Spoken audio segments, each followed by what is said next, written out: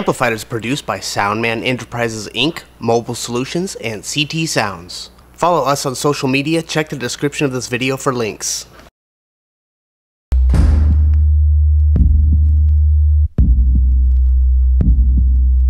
Now that I decided to use this Apple Airport Express as my optical audio source, I'm going to rebuild the mounting plate for the F-150. This wiring setup is going to be a lot simpler than the last horse's ass of a disaster I had going on.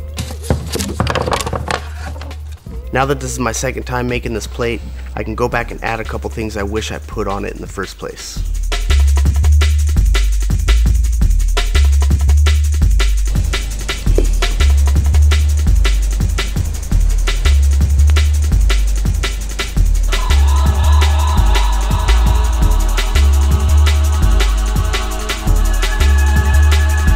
One thing I'm going to put on this plate is my OEM F-150 cigarette lighter plug.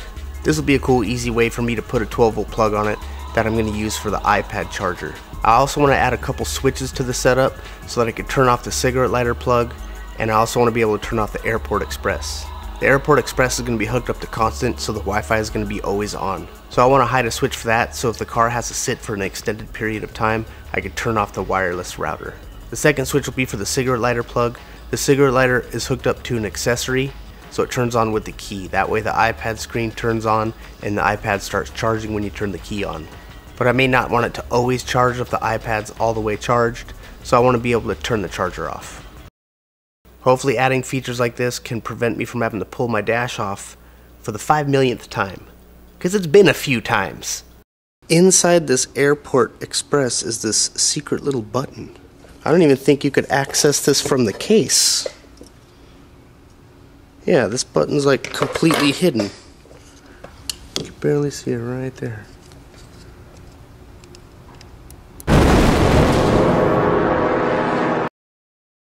My dash has been opened up more than Rafa's mom's butt cheeks. I've had it open and shut so many times my hands have been inside of and out of it. I'm talking about my dash open shut, open shut like a damn front door. People running out of there. This time I'm talking about the ass. The iPad's not going to stop playing audio when we turn the key off.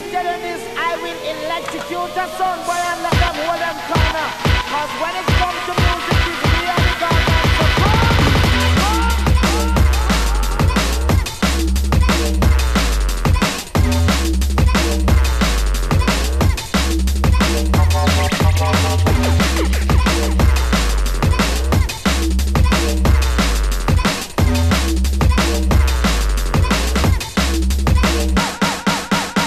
Airport Express taken all apart and it has this cool little aluminum plate that I could use to mount to my plate. There's two slightly longer screws that I'm going to salvage and utilize like a scavenger.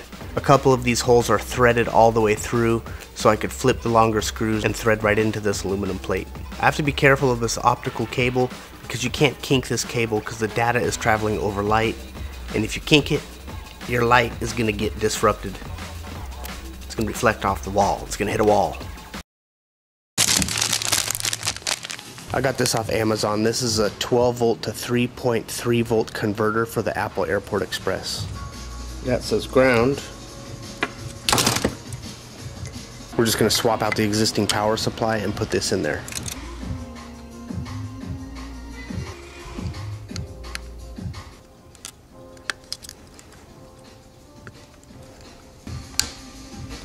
These two loops are ready for switches to be hooked up to them.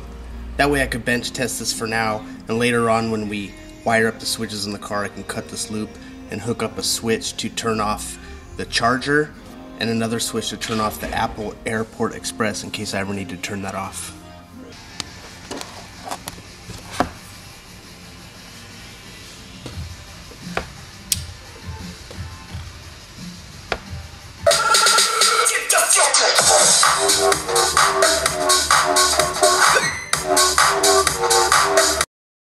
Now I'm optimistic. starting to get happy up in this bitch. I think I covered all my bases. We should be good.